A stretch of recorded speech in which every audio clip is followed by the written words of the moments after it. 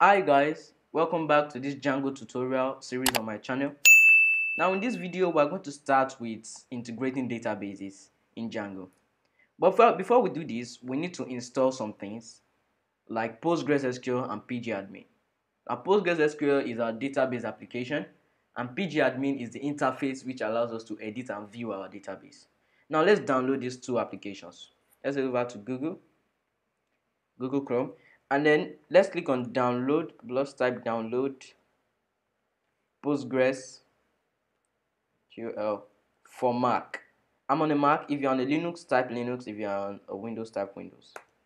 Now when I click on enter, the first URL you see, click on it. And then download the PostgreSQL version compatible with your Mac OS version. Basically, I'm on a my Mac OS version falls within this range, so I'm going to download 12. Then I think you're just going to download the installer here. Note your version, and then click on your version. Let's say it's 12. See, see we have 12.4 for Mac. Then you download it. If yours is 11.9 that is compatible with yours, download it and then once you've downloaded that let's head over to downloading pgadmin let's say download pgadmin for mac.